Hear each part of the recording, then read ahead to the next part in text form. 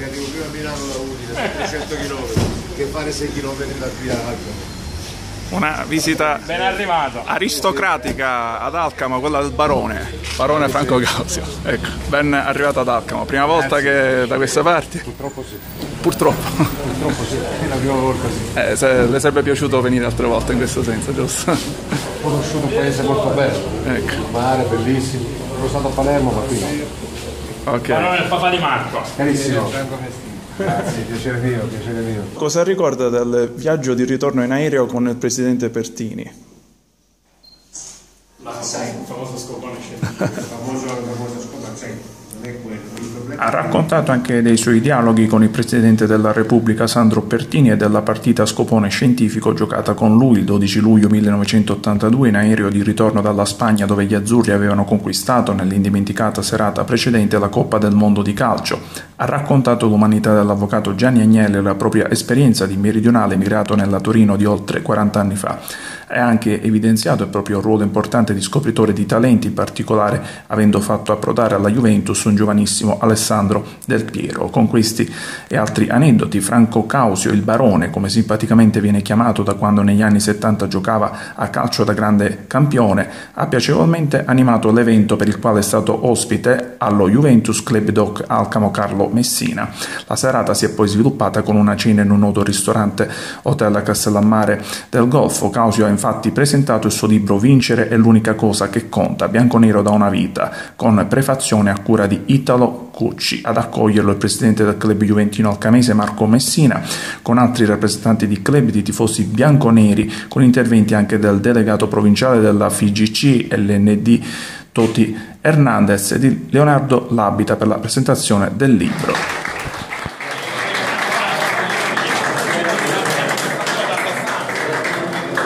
Ha messo tre ore per arrivare. E allora il traffico, come diceva Gianni Secchino, il traffico, il Quale traffico. traffico? E se ci sono due carretti con due traffico? Poi mano a mano i sogni a volte si avverano.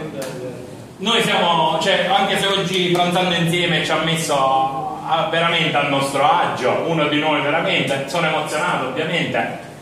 Come me, come tutti questi fratelli bianconeri che ci chiamano ininterrottamente, oggi sono stati presenti chi ha lasciato la moglie, la fidanzata, ci il lavoro, il lavoro, dare un omaggio e a nome del presidente di tutto il club ringrazio tutti coloro che sono eh, presenti e tutti coloro che ci hanno dato un attestato di stima e di affetto anche se non sono voluti essere presenti o non hanno potuto partecipare.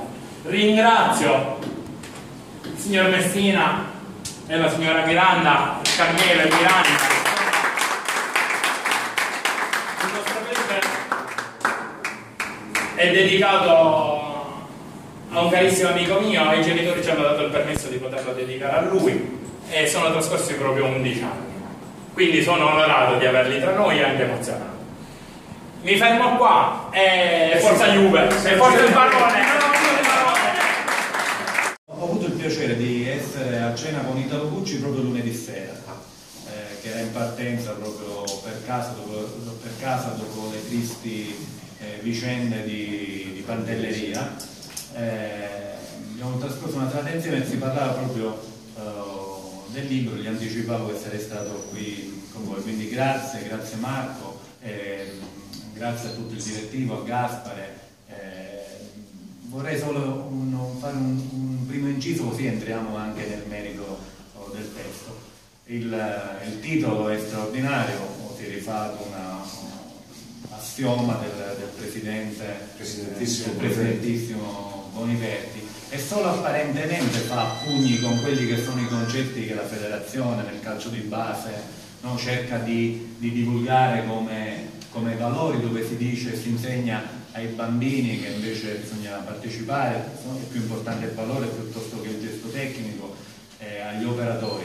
E io credo che l'interpretazione che vada data, la- l'interpretazione corretta che va data questo titolo è invece la voglia, la determinazione di arrivare, cosa che è pregnante in casa, Juventus, eh, concetto che il presidentissimo Bonivelli... Ha ripetuto anche Andrea Agnelli adesso che ha detto che questa maglia deve imparare a vincere. Esatto, quindi non bisogna avere il pudore di, di dirlo perché ogni tanto qualcuno poi ci, ci accusa. Allora, dicevo, quanto è arrivato lei quest'anno secondo?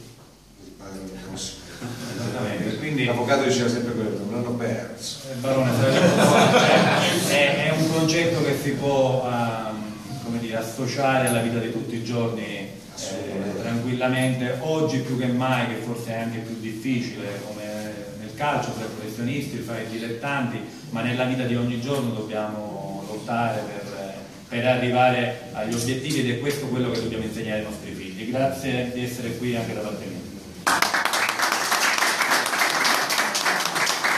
Grazie dell'invito, lo accetto molto volentieri, quindi sono qui con entusiasmo, sicuramente per fare anche l'elogio a questa squadra attuale, tra la quale che vince la squadra 5 anni di fila un campionato. Insomma, chapeau a questi ragazzi, non è facile, io l'ho vinto per due anni di fila ed ero già un po' essere concentrati non era facile, però vincere 5 di fila ai campionati bisogna dirgli solamente bravi perché non solo i giocatori, la società, l'organizzazione, progetto serio e quindi come è sempre stata la Juventus. Sul fatto di Marco che diceva di Agnelli, io dico che lui andava avanti quei tempi, arrivava prima perché nel periodo nostro, praticamente anni 70-80, la Juve era formata un po' più che altro da, da giocatori di varie regioni, ma perché? Perché nella Fiat c'erano tanti meridionali, lui arrivava con quella intelligenza superiore alla media che aveva e divideva le squadre, la nostra squadra, con...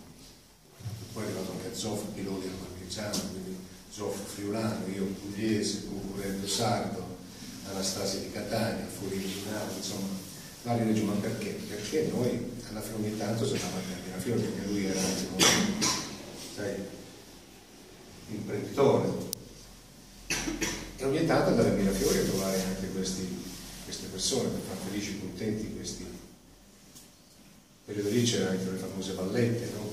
Valletta, quindi che, avevano costruito le case meridionali appunto della Fiat perché dovevano abitare lì. Ecco perché l'intelligenza dell'avvocato arrivava sempre prima degli altri, quindi la risposta che gli do a Marco che poi insomma io è uno stile di vita non solo in campo ma anche fuori. Cosa ricorda del viaggio di ritorno in aereo con il presidente Pertini? La sai, il famoso scopone scientifico. Il famoso, famoso scopone, sai, non è quello. Il problema è che noi l'avevamo già, prima di partire siamo andati da lui a salutarlo Beh, come procedure, sì, ma io ne ho passati tre mondiali, ho visto due papi, ho visto principali presidenti, quindi in Spagna, in Spagna non c'era ancora, non c'era, non c'era governo, quindi c'era Spadolini, ma che faceva, il governo non c'era, c'era solamente il presidente Pertini, ma non c'era il Consiglio, c'era, vi ricordate Spadolini che rappresentava, infatti Spadolini è venuto prima lui, poi nel momento in cui siamo andati in finale l'altro da Roma mi ha chiamato, mi ha detto torna a casa perché arrivo io, però lui, lui è arrivato lì, ci ha visto come solito, io ero ex Juventino, ma noi Juventini giocavamo, eravamo le partite, facevamo dei, dei, piccoli tornei di scopone scientifico, Brigi, Briscola 3-7, quindi con l'Atari perché non c'era oggi, avete l'iPad, avete l'iPhone, avete i giochetti vari, i ragazzi di oggi sono diversi da noi nell'ora, quindi noi avevamo l'Atari facevamo con l'Atari oppure facevamo questi tornei. Lui ci ha visto giocare, ah, mi piacerebbe fare una partita solo che non aveva tempo perché vari convenienti lei che doveva fare una stampa, non aveva il tempo per poterla fare. Ho detto però, sai, se capita, io devo nella vigilia della partita a trovarci, tanto per cambiare, cioè, eravamo lì così, no, mi piacerebbe, mi piacerebbe, il presidente non si sa mai vediamo domani come va. Finita che abbiamo vinto la partita, alla fine della partita lui a Berzotti gli ha detto domani vi voglio tutti sull'aereo presidenziale, solo voi, poi è arrivato la Franchi, c'era Carraro, quindi sono venuti anche loro, però lui voleva solo una squadra, non voleva... Guardate solo, ci siamo messi a fare, lui doveva fare la sola prassi di fotografi, doveva fare la televisione privata, non privata, tutte le sue cose, no? Impegni. Eh? Impegni Beh, impegni, impegni del Presidente della Repubblica, però non vedeva l'ora, perché lui vedeva che ci guardava, non vedeva l'ora di sbolognare e di venire da noi. Appena finito, interviste varie, compagnia bella, me lo dice, eccomi qua, pronto, fa la partita? Prego, chi vuol giocare? Dice, io gioco con il mio capitano. Io ho detto, vabbè Presidente, io gioco con, con il mio CT. Tutti e tre negati, devo dire. eh. non erano dei fenomeni. Comunque va benissimo lo stesso, ci mettiamo lì a giocare, siamo lì un po' più o meno punto avanti noi della... Giocare a scopone scientifico non so se tanti 10 carte, devi ricordarti i pari, i dispari, tutte quelle carte che sono uscite, no? mancavano 4 mani alla fine, io più o meno ero quello che più, preparato diciamo, mi ricordavo un po' quello che avevamo in mano, praticamente siamo in sette a giro, loro mazzieri, io con mio amico Vecchio, che era esordio, mi ha fatto segno, cioè sette belle in mano. Finita di No, dico perché mazzieri loro, tu praticamente carte a giro, tutti pari, dico abbiamo perso. Mi viene in mente la mia estrosità, per caso, estrosità, la mia... Allora piglio, piglio sto 7, 4 e lo butto via. Tino sulla mia destra, essendo mazziere, deve prenderlo perché è tutto pari, deve prenderlo, anche lui è obbligato, lo fa passare. Beh, c'è il sette bello, abbiamo preso bello premiera, se arriva a 6 finisce la partita. No? All'ultima mano, noi abbiamo le due carte normali, e rimangono il 7 in mano di Zoff e il 7 in mano del Presidente. E quando il Presidente si accorge che lui c'è il 7, lui pensava che ce l'avesse nel Zozzo, ce l'avessi io l'altro 7, perché... Eh, perché io tirando fuori pensavo che ce l'avessi io. Dice, ma come c'ha lei l'altro 7 e non ha preso il 7 di causa? Dice, ma Presidente, non deve prenderlo, siamo mazzieri noi. e lì è là. Affare di Stato. no? Eh, beh, sì, no, un affare di Stato, perché poi sai, lui poi gli ha fatto una lettera, però sai, poi noi atterriamo, siamo lì su, su Ciampino, arriva il comandante, arriviamo su e lui cosa dice? Ragazzi, guarda quanto c'è un milione di persone che ci aspettano, no? E stavamo volando basso e, e lui gli dice al comandante, non atterri, dice, faccia un altro giro facciamo vedere. Non poteva Beh, poteva permettere, se no lui comandava. Poi siamo arrivati e siamo andati a Bazzoviglio, siamo andati a mangiare perché poi il tavolo a forma di cosa di cavallo, sai. Allora c'era, lui doveva sedersi davanti qua e poi c'erano i vari onorevoli, ministri. Lui è arrivato lì praticamente, seduto un po' in mezzo. Non c'era fuori, una roba di sforzo preparato. Allora ha detto, ha chiamato Zoff, ha chiamato, Per- e ha chiamato il nostro cittino. Sì, ha chiamato Gilberto, il vecchio lo chiamo il vecchio perché ci siamo. Eh. Allora gli fa, lei la mia destra, la mia sinistra. Ragazzi, tutti qua. Ringraziamo i ragazzi per le emozioni che ci hanno dato e buon appetito a tutti.